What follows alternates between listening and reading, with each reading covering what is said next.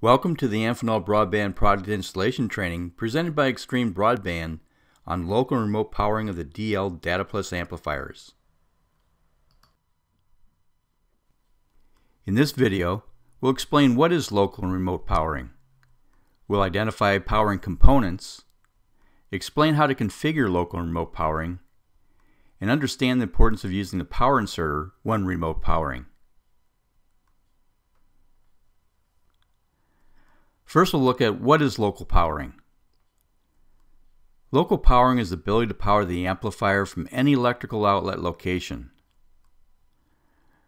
Local powering normally uses an electrical outlet that's close to the amplifier location. And local powering uses a dedicated coaxial cable just for DC. The DL DataPlus amplifier has a dedicated local power port.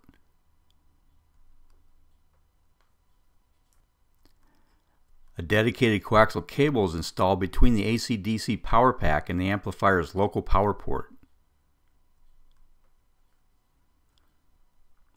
Plug the power pack into the AC outlet and DC flows to the amplifier. The power pack and amplifier each have a green LED indicating that DC is present.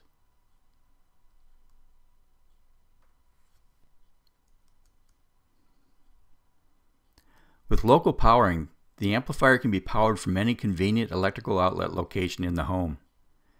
This could be by any existing unused coaxial cable outlet location, or a new cable could be run to the desired location. The maximum length of the coaxial cable between the amplifier and outlet is 150 feet. Next we'll look at what is remote powering. Remote powering is the ability to power the amplifier from any location where there's a cable and electrical outlet close together. Remote powering allows DC to travel on the same coaxial cable that carries RF, thus eliminating the need to run a dedicated power cable such as with local powering.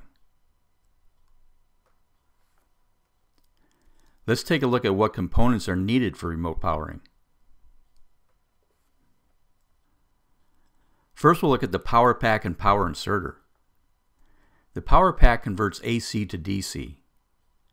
On the power pack, there's a mounting hole at the top that is used to secure the power pack to the AC outlet with a screw. This will prevent anyone from accidentally unplugging the power pack, which will result in the loss of power to the amplifier. The power pack comes with a loss of service tag installed. This is a warning that if the unit is unplugged, the cable service will be lost. There's a green LED, which is a visible indicator that the power pack is working and has DC voltage. The power inserter combines DC from the power pack with the RF on the drop, which enables DC to flow to the amplifier. The AC-DC power pack and power inserter are a team and work together. The power inserter has three ports. One port is labeled 2 power supply. This port is connected to the power pack and only passes DC. The port labeled 2 amplifier DC slash RF is connected to the cable going to the amplifier and passes both DC and RF. The port labeled 2 TV slash modem RF output is connected to the end consumer device such as a set-top box or modem and only passes RF.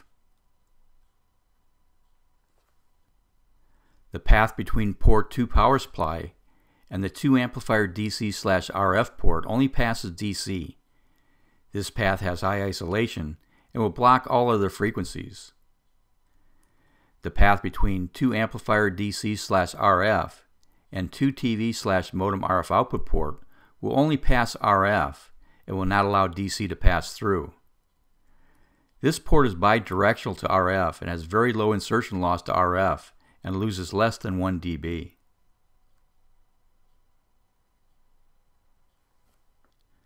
Next we'll look at why use a power inserter. Due to the power inserter's high isolation to all frequencies between the 2 power supply port and the 2 amplifier DC RF port, any electromagnetic interference or radio interference that may be picked up by the power supply will be blocked. The power inserter is designed to block this interference and only pass DC through. So the EMI or RFI will not be allowed to flow to the amplifier, where it may cause interference to services on the other RF ports, or travel through to the input port and up the drop and cause interference in the HFC network. In this example, we're showing the power pack connected directly to the RF output number 1 powering port. The interference that could penetrate the power pack travels through the cable directly to the output number 1 port. The interference will pass through the RF number 1 port to the other RF ports where it can interfere with the services on the other outlets in the home, and also to the input port where it can travel up the drop into the HFC network. With the power inserter installed, it'll block any interference coming from the power pack. This also applies to powering through the VoIP and modem port. So always use a power inserter when remote powering. Here we're showing the local powering option where the power pack is connected directly to the local power port. The interference that could penetrate the power pack travels through the cable directly to the local power port. The interference is blocked by the local power port and will not cause any interference problems to the other ports. The DL Data Plus amplifiers have two options for remote powering. The first is through the RF output number 1 port, and the second is through the VoIP slash modem port. These ports are also used for RF and pass both RF and DC. These ports are identified with a label indicating remote power. Let's look at how remote powering works. Remote powering is the ability to power the amplifier from any location where there's a cable and electrical outlet close together. Typically, this could be any location where cable outlets are located, as the end consumer device needs power to work. The maximum length of the coaxial cable is 150 feet, but probably will be less due to the attenuation of the cable to RF. Let's look at how to configure remote powering from one of the outlets. In this example, we'll remote power from the bedroom number 2 outlet location. First we'll go to the amplifier location on the side of the house and configure the amplifier. Since this is feeding a video service in bedroom number 2, we'll use the remote power port located at RF output number 1. If we were remote powering from an EMTA or modem location, the passive VoIP port would be used. This is the second remote powering option. The rest of the powering process is the same for both ports. Since the local power port doesn't carry RF, there's no need to terminate this port. Included with the amplifier are two service loss tags. These tags are a warning that if the cable carrying DC is disconnected, the cable service will be lost. Wrap one of the service loss tags around the cable carrying DC power, connect the rest of the cables, and mount the Data Plus amplifier into the enclosure.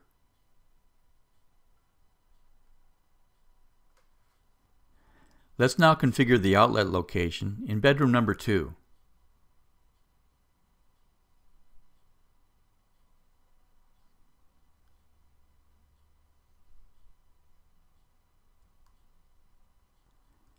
Connect the power inserters, two power supply ports to the power pack. Connect the cable going from the wall plate to the power inserters 2 amplifier DC slash RF port. Connect the cable going to the customer premise equipment to the power inserters 2 TV slash modem RF output port. Install the other service loss tag onto the cable close to the connector connected to the power inserters 2 amplifier RF slash DC port. Next, plug the power pack into the AC outlet. Screw the power pack to the AC outlet using a screw through the mounting hole at the top of the power pack. DC now flows to the amplifier.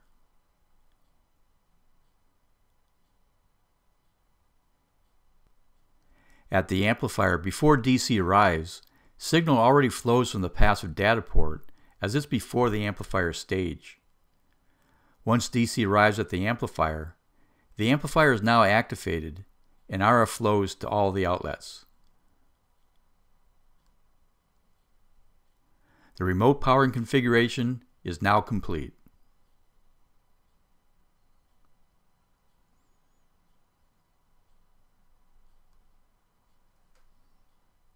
Let's look at the flexibility to power from any location with remote powering. To power from the bedroom number 1 location, configure the power pack and power inserter the same as we did in our example. Or at the family room location, configure the power pack and power inserter the same as we did before. At the EMTA slash modem location, the configuration would be the same. At the amplifier, use the VoIP modem port.